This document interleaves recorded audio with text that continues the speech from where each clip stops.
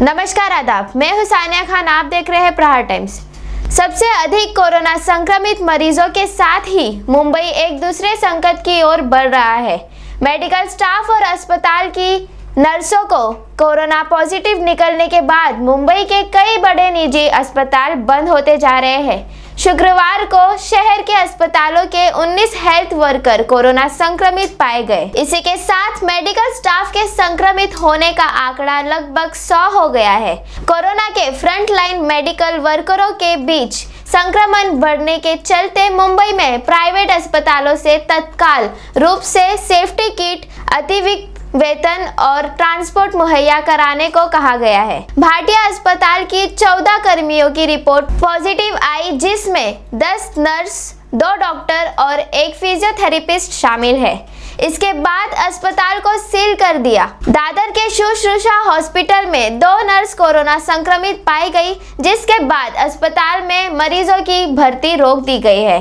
इसी के साथ 48 घंटे के अंदर सभी मरीजों को डिस्चार्ज कर दिया जाएगा। मुंबई के बड़े अस्पताल जैसे जस लोग वॉक हार्ट और भाटिया अस्पताल में सेफ्टी प्रोटोकॉल पर सवाल उठने लगे हैं। एक सिविक अधिकारी ने बताया कि सभी प्रोटोकॉल के साथ कुछ हद तक संक्रमण को रोका जा सकता है। उन्होंने बताया कि उदाहरण के लिए, अभी तक डॉक्टर या स्टाफ में संक्रमण का केस नहीं आया है। प्राइवेट अस्पताल के एक वरिष्ठ मैनेजमेंट अधिकारी ने बताया कि अस्पतालों में संक्रमण के कुछ मामले का अनुमान था क्योंकि हम कोविड 19 के सक्रिय मामलों को देख रहे थे। हालाँकि पीपीई किट की कमी और अधिक संक्रमित मरीजों को चलते अस्पताल की स्थिति चिंताजनक हो गई है।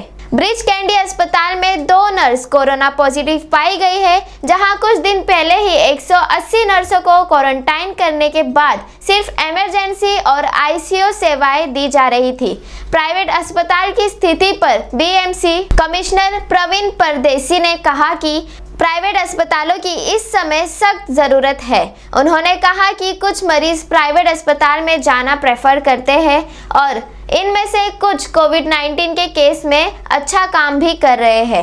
वो कहते हैं कि अगर एक अस्पताल संक्रमित होता है तो उसे प्रोटोकॉल के तहत टेस्टिंग और परिसर को डिसइंफेक्टेड करना ज़रूरी है।